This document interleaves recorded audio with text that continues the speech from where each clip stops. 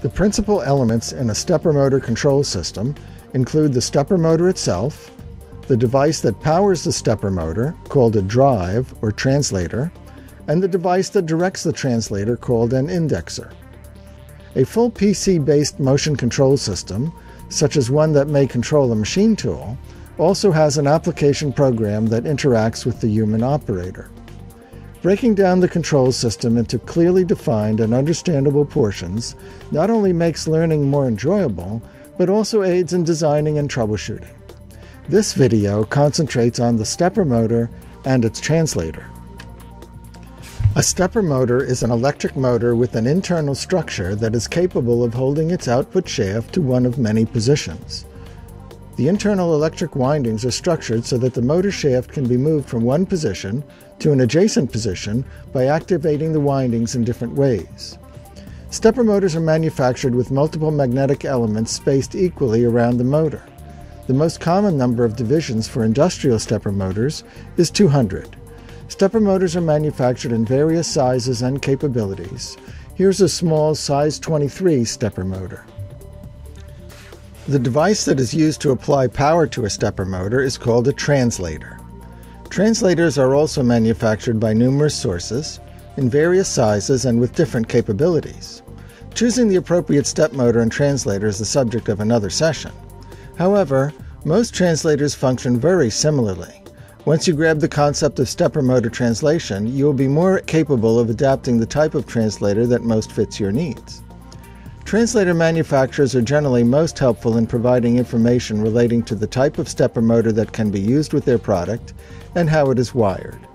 This demo uses a very common and simple type of translator of the two-phase variety and a four-wire hookup between the translator and the stepper motor.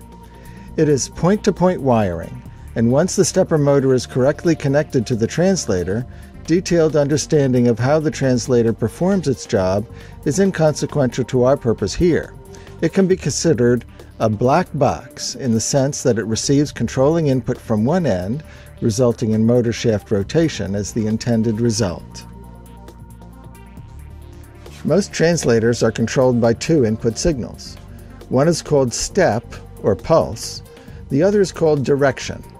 Sometimes the direction line is labeled clockwise slash counterclockwise or CW slash CCW as shown on this translator. The part of the control system that provides these signals to the translator is called the indexer. Ability Systems Indexer LPT software uses industry standard parallel ports, commonly called printer ports, to generate these control signals.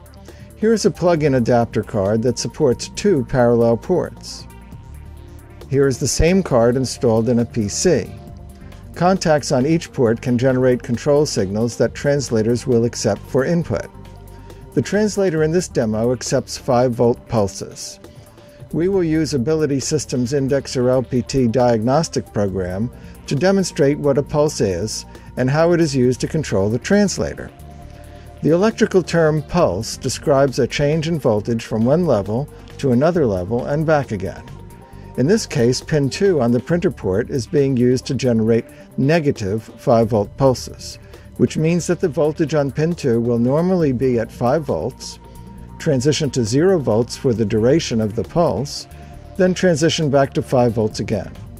An easy way to visualize this is to generate very slow pulses from Indexer LPT and observe the output from pin 2 using a voltmeter. Using the Indexer LPT diag program, I'm setting the pulse rate to 1 pulse per second for Indexer LPT's jog command when it's used to generate the pulse signal on pin 2. The ground reference is pin 25. Indexer LPT generates pulses with a square wave. This means that when generating multiple pulses, the voltage is low about the same time as it is high. When set up for a pulse rate of 1 pulse per second, the voltage on pin 2 will lower from 5 volts to 0 volts for 1 half second, then return to 5 volts. The next pulse will start 1 half second later. The time occupied in sending each pulse, which is the pulse period, is 1 second. The oscilloscope shows the change in voltage over time. Here the sweep time is turned down low enough for you to see the voltage reading trace for all five pulses. Here the pulse output from the parallel port, pin 2, is connected to the step input on the translator. Pin 25 on the parallel port, which is ground, must be connected to the translator's ground reference as shown.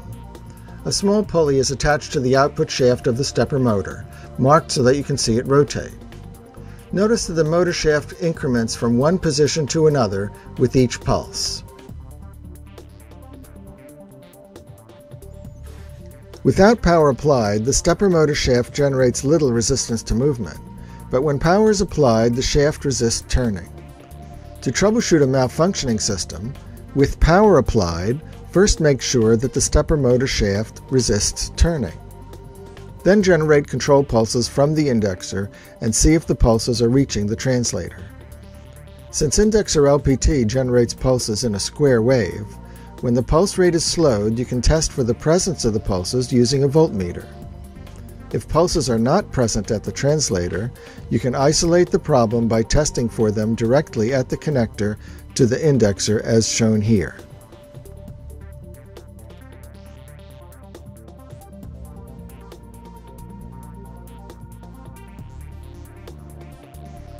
The voltage level of the direction control line determines whether each pulse rotates the motor shaft clockwise or counterclockwise. In this view, a yellow wire connects pin 3 from the parallel port, which is the indexer's direction control output, to the CW slash CCW input to the translator. Here we will be observing the voltage level of this signal using a voltmeter. As its name implies, the direction signal determines whether the motor shaft will move clockwise or counterclockwise. When the direction signal is 5 volts, pulses applied to the step input move the motor shaft in one direction. When it is 0 volts, the pulses applied move the shaft in the opposite direction. Here we're using Indexer LPT's jog command to move the motor in one direction using a positive value for the number of pulses. The positive value causes the indexer to present 5 volts on the direction line. For the other direction, a negative value is used to designate pulses. The negative value causes the indexer to present 0 volts on the direction line.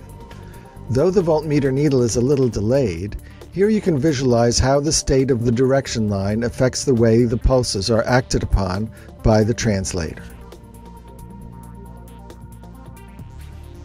That completes our introduction to translators.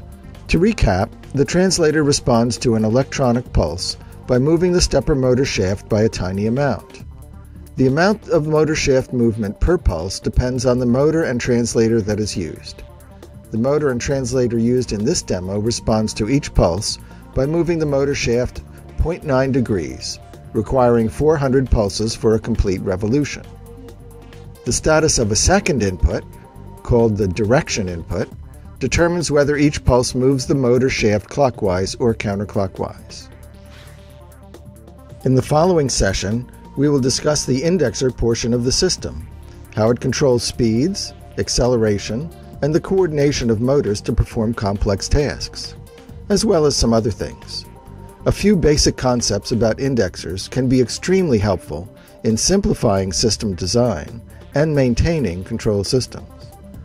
Subsequently, we will also cover how an application program can hide the functions of the indexer from the human operator, interacting with both the human operator and the indexer to accomplish smooth, efficient, and predictable machine control.